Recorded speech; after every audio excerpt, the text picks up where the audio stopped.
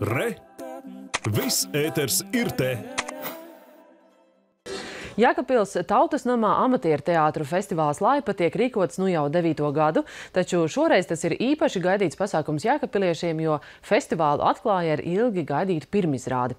Pasākuma organizatoras un teātra režisors Inte Sūbeles vadībā iestudēta igauņu dramaturga Andrusa Kivirehka traģikomēdija Gaiši zilais vagons. Amatieru teātru festivālam izvēlēts zīmīgs nosaukums, jo, kā atklāja režisore, simboliski laipa ir kā savienojušas posms starp skatītājiem un aktieru mākslu. Festivāla ietvaros trīs dienu laikā būs iespēja redzēt desmit izrādes visdažādākajām gaumēm – gan drāmas, gan komēdijas.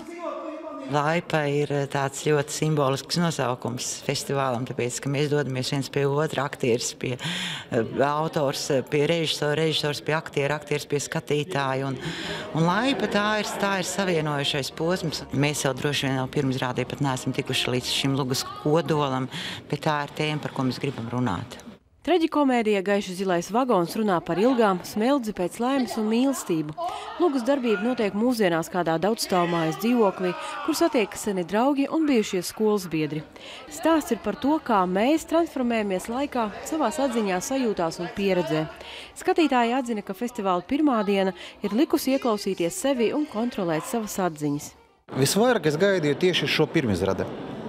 Pārējais ir kā garšviela.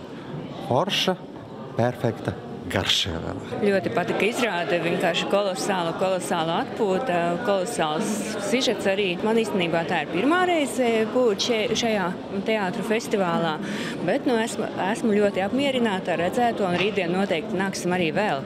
Festivālā piedalās amatieru teātri no Latvijas un kaimiņu valsts Lietuvas. Katra izrāde ir ar savu vēstījumu skatītājiem. Festivāla ietvaros izrāžu vērtēšanai pieaicināti arī eksperti, kuri seko līdzi notikumiem uz skatuves visu triju dienu laikā.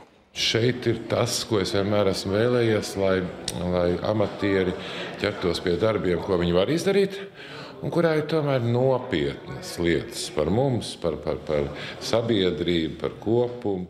Amatieru teātru festivāls noslēgsies svētdienas vakarā, tāpēc vēl ir laiks ieņemt skatītāju rindas Jēkabpils tautas namā. Karina Kitina, Zanda Berne, Andrejs Mažāns, Latgals reģionālā televīzija.